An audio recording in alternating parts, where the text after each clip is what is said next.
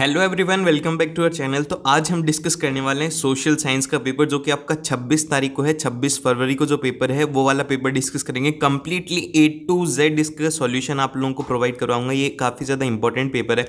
तो ध्यान से सुनना पूरा पूरा सोल्यूशन आप लोग के लिए यहाँ पर प्रोवाइड है, लेकिन हर बार आप लोगों से एक ही शिकायत रहती है कि आप लोग आते हो कंप्लीटली वॉच करते हो, लेकिन सब्सक्राइब नहीं करते। तो सब्सक्राइब कर दिया करो, क्योंकि ये वाला जो पेपर है, इसको बनाने में काफ़ी ज़्यादा टाइम लगा, काफ़ी ज़्यादा मेहनत लगी, और उसी के साथ में लाइक भी कर दिया करो। अगर आपको अच्छा लगे और अपने दोस्तों के साथ में शेयर भी कर दिया करो। तो फिर चलिए स्टार्ट करते हैं। स्टार्ट करने से पहले आप लोगों को बता देता हूँ, छब्बीस तारीख को ये जो पेपर होने वाला है, ये होगा आपका अस्सी नंबर का।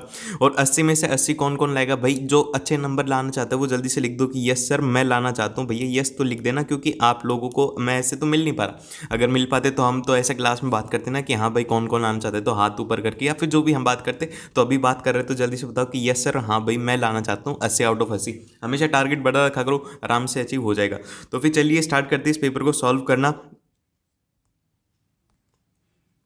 अभी ये जो पेपर है, ये रहने वाला है हिंदी मीडियम वाले बच्चों के लिए और जो इंग्लिश मीडियम वाले हैं, उनके लिए नेक्स्ट वाला पेपर आएगा इंग्लिश के अंदर। तो इंग्लिश वालों के लिए वो वाला है। तो हिंदी वाले देखें इसे इंग्लिश वाले ना देखो। और ये पेपर कहाँ पर मिलेगा? ये पेपर आपको मिलेगा नीचे एक वेबसाइट का लिंक है, उसके ऊपर आपको जाकर के पी मिल जाएगी।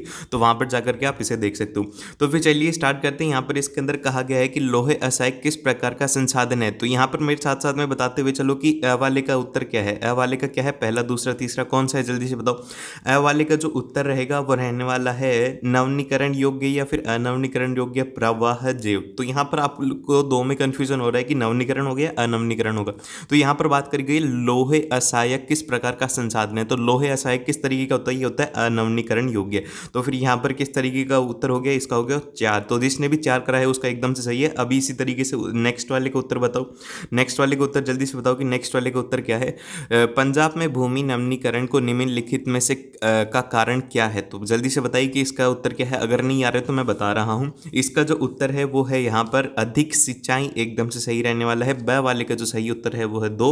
और फिर चलते तीसरे वाले के अंदर। तीसरे वाले का भी बताओ कि इनमें से कौन सी रबी फ़सल है? ये वाला जो क्वेश्चन है, ये वाला इंपॉर्टेंट है। अब इसमें तो यहाँ पर रबी का पूछा गया आपसे खरीफ जितनी भी तरीके की होती हैं, कोई से भी फ़सल पूछी जा सकती है। तो सभी फ़सल के क्या करो? नाम याद रख लो। फ़सल से एक प्रश्न पक्का है कि कल आने ही आने वाला है। तो फ़सल वाले क्वेश्चन को थोड़ा याद रखो। फिर उसके बाद में चलते हैं यहाँ पर। इसमें कौन से वाला है कि इनमें से कौन सी रबी है? तो भाई इसका एकदम से सही उत्तर रहेगा, वो रहेगा चना। एकदम से सही है, चना है इसके अंदर रबी फ़सल।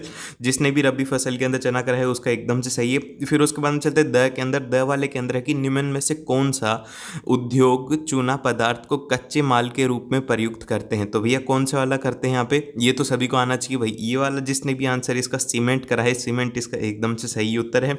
और फिर उसके बाद चलते हैं यहाँ पर। हमारे देश में निम्न में से कौन सा महत्वपूर्ण परिवहन का साधन है?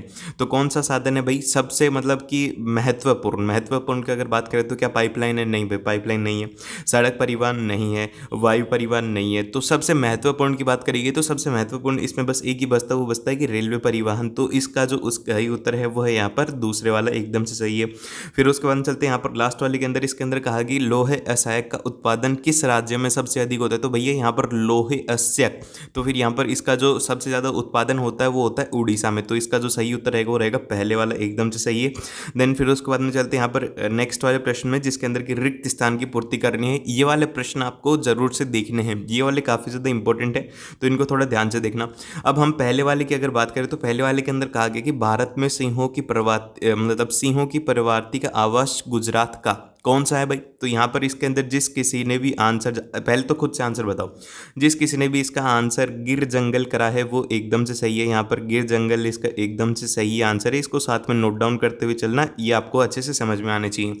देन फिर उसके बाद चलते हैं यहाँ पर क्वेश्चन नंबर सेकंड के अंदर, जिसके अंदर है कि नेपोलियन बोनापार्ट कौन से सन में युद्ध करा था? तो ये जो सन होती हैं, सन को थोड़ा ध्यान से रखना। नेपोलियन बोनापार्ट की दूसरा विश्व युद्ध कब हुआ था? यहाँ से प्रश्न ज़रूर से आएगा। तो यहाँ पर अगर हम बात करें तो ये हो जाएगा, यहाँ पर 1815 में। तो 1815 इसका एकदम सही उत्तर है। साथ में नोट डाउन करते हुए चलो।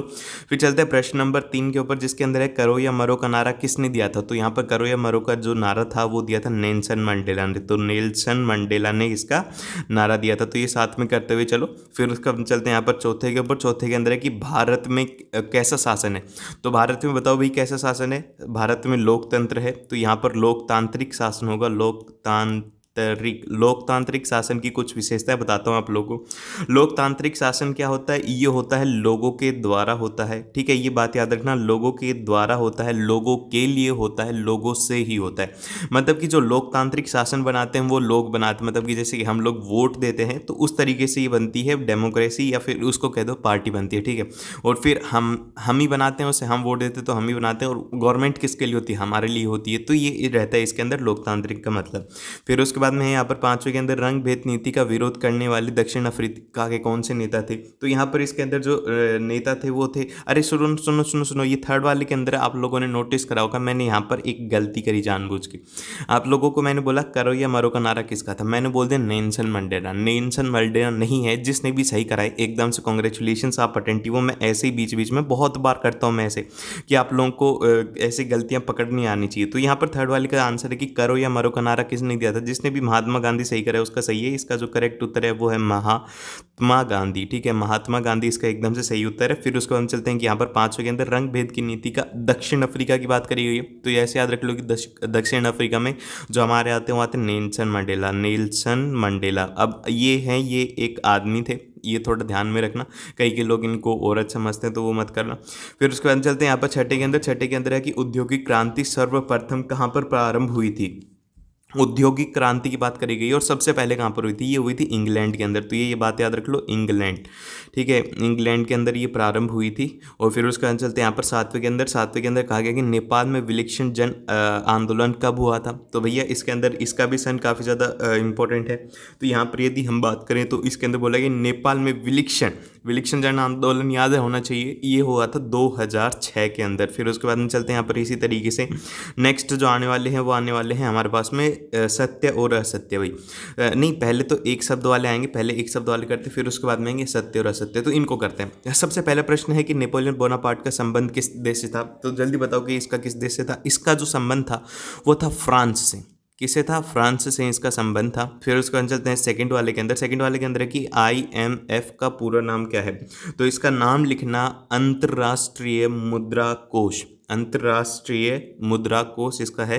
फिर उसके अंदर चाहते हैं, यहाँ पर इसके अंदर तीसरे वाले के अंदर कि मार्टिन लूथर कौन था? तो मार्टिन लूथर मार्टिन लूथर था एक सामाजिक सुधारक। आपके किताब के अंदर यही लिखा हुआ है कि वो सामाजिक सुधारक था, उसके अलावा कुछ भी नहीं लिखना, सामाजिक सुधारक था। फिर उसको हम चलते हैं चौथे के अंदर। चौथे के अंदर है कि प्रिंटिंग प्रेस सर्वप्रथम किस सदी में भारत में आया था? तो यहाँ पर प्रिंटिंग प्रेस की अगर बात करी जाए तो प्रिंटिंग प्रेस आया था सोलहवीं सदी के अंदर। तो यहाँ पर सोलहवीं सदी की बात करी जाएगी। प्रिंटिंग प्रेस आया था और प्रिंटिंग प्रेस को आप ये भी समझ सकते हो कि प्रिंटिंग प्रेस का मतलब है मीडिया अब ये मीडिया से क्या हुआ? जैसे कि अभी इस टाइम के ऊपर अगर कोई भी न्यूज़ आती है, जैसे कि एग्ज़ाम से रिलेटेड तो मीडिया ही कवर करता है. तो मीडिया का रोल काफ़ी ज़्यादा इंपॉर्टेंट है हर एक जगह पर तो ये थोड़ा इंपॉर्टेंट है, इसको थोड़ा ध्यान रखना. फिर उसके बाद चलते हैं यहाँ पर प्रश्न नंबर पाँचवें के अंदर. प्रश्न नंबर पाँचवें पर जाने से पहले अगर आप लोगों ने अभी तक क्या नहीं करा? ये नहीं करा. करो इसे, पहले तो ये करो, ठीक है? फिर उसका अंदर चलेंगे आगे तो सब्सक्राइब कर दिया करो जल्दी से, और लाइक कर देना। यहाँ पर अब चलते पाँचों के अंदर, पाँचों के अंदर कहा गया कि हीरा कुंड बाँध किस नदी पर बनाया गया? तो भाई हीरा कुंड जो बाँध है वो महानदी पर बनाया गया, ठीक है? महानदी, ठीक है? महानदी, ऐसे नाम आएँगे कि कौन सा बाँध किस पर है? तो ये अपनी तरफ़ से करते हुए, चलो जैसे कि अगर कोई भी चैप्टर पढ़ रही हूँ, अब मान लो कि मैं कोई भी एक चैप्टर पढ़ रहा हूँ मतलब कि इतिहास का एक चैप्टर पढ़ रहा हूँ तो वहाँ पर सबसे इंपॉर्टेंट क्या है भाई? वहाँ पर इंपॉर्टेंट है सन तो मैं क्या करूँगा? एक पेज लूँगा, उसके ऊपर सारी की सारी सन लिखता जाऊँगा कि सन में ये हुआ था, वो हुआ था। हाँ कि मैं इसकी वीडियो तो ज़रूर से बना के आप लोगों को दे दूँगा कि सारे के सारे सन वगैरह कैसे याद रखने वो वीडियो तो मिल जाएगी, लेकिन एक बार खुद से करो, फिर मैं वीडियो प्रोवाइड करवा दूँगा, ठीक है? और फिर उसके बाद जैसे कि अब मैं ज्योग्राफी पढ़ने के लिए बैठ गया तो वहाँ पर मैंने देखा कि यहाँ पर ये जगह जगह के नाम है तो वो सब कुछ मेरे को लिखते हुए चलना है, ताकि मेरे को अच्छे से याद हो। ऐसे करोगे तो काफ़ी ज़्यादा फ़ायदे में रहोगे। अब उसके बाद में चलते हैं यहाँ पर, जो नेक्स्ट प्रश्न आता है, वो आता है प्रश्न नंबर छः। प्रश्न नंबर छः के अंदर बोला गया कि गुजरात तट पर कौन सा बंदरगाह स्थित है? तो यहाँ पर इसके अंदर कांडला बंदरगाह स्थित है तो इसको याद रखना, कांडला बंदरगाह। और चौथे वाला है, चौथे वाले के अंदर अब ये लास्ट वाला, सातवा। सातवें वाले का मेरे को उत्तर चाहिए। अगर अभी तक आप लोग देख रहे हो तो मतलब बहुत ही अच्छा करने वाले हो कल पेपर के अंदर तो इसका उत्तर बताओ। उपभोक्ता संरक्षण अधिनियम कब लागू हुआ था? तो अगर हम बात करें कि कब लागू होने की बात करेगी, बनने की बात नहीं करेगी तो लागू होने की बात करेगी थी, वो हुआ था उन्नीस सौ छियासी में 1986 के अंदर हुआ था। फिर उसके बाद चलते हैं यहाँ पर नेक्स्ट जो आने वाले हैं, वो आने वाले हैं सत्य और असत्य। सत्य और असत्य वालों के अंदर आप गलती क्या करोगे कि इनको पूरे को लिखना है, लेकिन नहीं। एग्ज़ाम के अंदर लिखना है कि फोर्थ ऐसे डाल दिया, फिर उसके बाद में ए के अंदर लिख दिया कि हाँ भाई, ये सत्य है, ठीक है। फिर उसके बाद में हमने लिख दिया बी, ये क्या है? ये है असत्य। है बस इसके अलावा कुछ भी लिखने की ज़रूरत नहीं है और ऐसे अगर ज़्यादा टाइम वेस्ट करोगे तो फिर वो फ़ायदेमंद नहीं रहेगा। अब चलते हैं पहले वाले प्रश्न के अंदर। तो पहले पाँच के तो प्रश्न मेरे को मतलब उत्तर दे दो कि सर सत्य है सत्य है। जल्दी से यार, एक तो क्रॉस मारना, एक टिक मारना क्रॉस मारना टिक मारना क्रॉस मारना टिक मारना, जल्दी से करो इसको तो ठीक है? अब पहले वाले की बात करी जाए कि जो वनस्पति मूल रूप से भारतीय नहीं है, उसे देशज वनस्पति कहते हैं। तो क्या भाई ये बात सही है? नहीं भाई, एकदम से गलत बात है। इसे देशज नहीं कहते तो क्या कहते बताइए? अगर असत्य होगा तो आपको सत्य करके बताना कि भैया इसका सत्य ऐसे हो जाएगा तो सत्य हो जाएगा। फिर उसके बाद में पाँचवें में चलते हैं। पाँचवें के अंदर बात करेगी श्रीलंका की सिंहली भाषा का राजभाषा घोषित किया गया। तो क्या बात ये सही है? हाँ भाई, एकदम से सही बात है।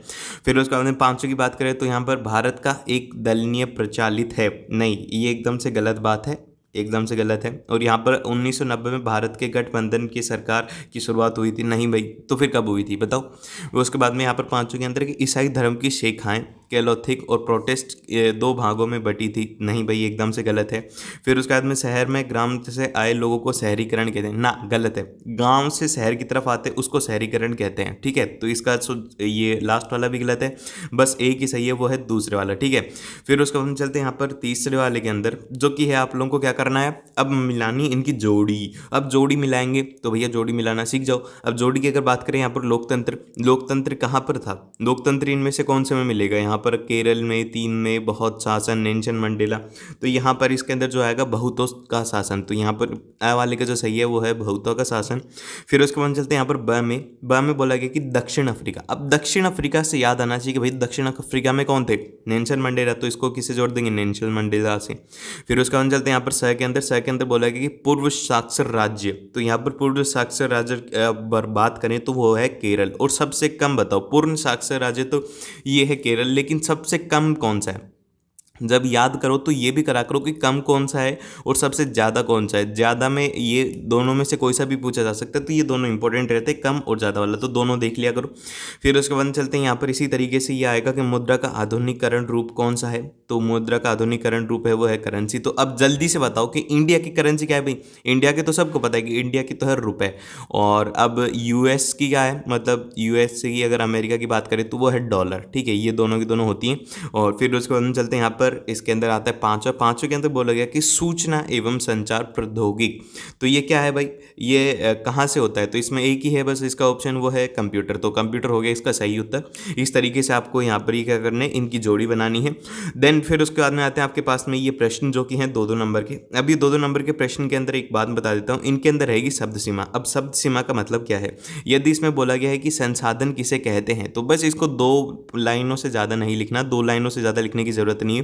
दो नंबर का है, या तो हो सके तो पॉइंट के अंदर लिख दो कि ये होता है और फिर उसके बाद में इसको अच्छे से सॉल्व कर लो। ठीक है, बिंदु बना करके हाँ भाई, एक बिंदु ये और दूसरी बिंदु ये। तो इससे नंबर ज़्यादा मिलने के चांसेस होते हैं, ये उसमें कम मिलते हैं। जैसे कि अगर आप पूरा पूरा ऐसे लिखोगे ये होता है, ऐसे ऐसे लाइन लिखोगे और एक आप लिखोगे पॉइंट्स में तो पॉइंट वालों में क्या मिलते हैं? ज़्यादा नंबर मिलते हैं। तो ये साथ में करते हुए चलना। फिर उसके बाद में आता है यहाँ पर कि ये, अब ये सारे सारे प्रश्न हैं बड़े बड़े तो इन सब के अगर मैं वीडियो के अंदर आंसर बताऊँगा तो वीडियो काफ़ी ज़्यादा लंबी हो जाएगी। लेकिन आप इनके स्क्रीन ले सकते हो। जॉबर्स क्या होते हैं? मतलब एक तरीके से आधुनिक क्रांति का आशय क्या है? और यहाँ पर गुड बर्ग कौन था? और यहाँ पर काफ़ी आसान आसान प्रश्न है और आप लोग बहुत ही अच्छे से कर सकते हो। और अगर अभी तक आप लोगों को ये नहीं हो रहा है तो मैं आप लोगों को और भी सैंपल पेपर प्रोवाइड करवाऊँगा। उसके लिए सब्सक्राइब कर देना लाइक कर देना। और अभी तक देख रहे हो तो बहुत ही बढ़िया बात है, ये पूरे पूरा पेपर आप लोगों के लिए है। एकदम से कंप्लीटली अगर इसकी पीडीएफ चाहिए तो नीचे एक वेबसाइट का लिंक मिलेगा। वहाँ पर जाकर के आप इसकी पीडीएफ देख सकते हो। ये पूरी पूरी इस तरीके से रहने वाला है कि यहाँ पर ये वाला ज़रूर से देखना कि सूचना के अधिकार से क्या आशय है लोकतंत्र क्या होता है लोकतंत्र किसके लिए होता है लोकतंत्र कैसे होता है, ये वाले कुछ काफ़ी ज़्यादा महत्वपूर्ण है। फिर उसके बाद में एफ़ आई आर का ज़रूर से याद रखना और इसमें से कोई से भी तीन करने, ये देख लो।